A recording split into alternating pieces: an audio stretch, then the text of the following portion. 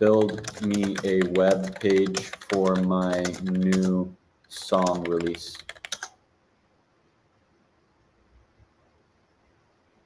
It's already working. So now we've got it working. It's going to use Tailwind CSS. It's using all the V0 libraries. It's telling me how I can get started. And then it's telling me the code that we can add and write.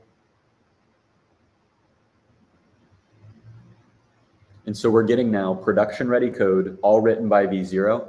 But unlike V0, we can now customize the, the usage of Vercel AI SDK.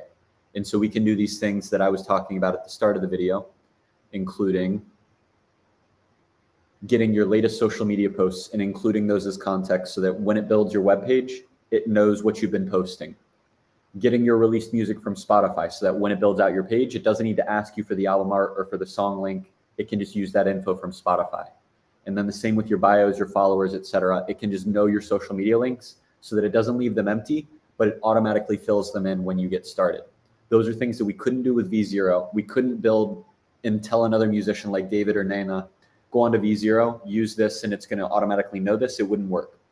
Now that we can use the model inside of our own apps, I can build a customized application that is built custom for these musicians' use case.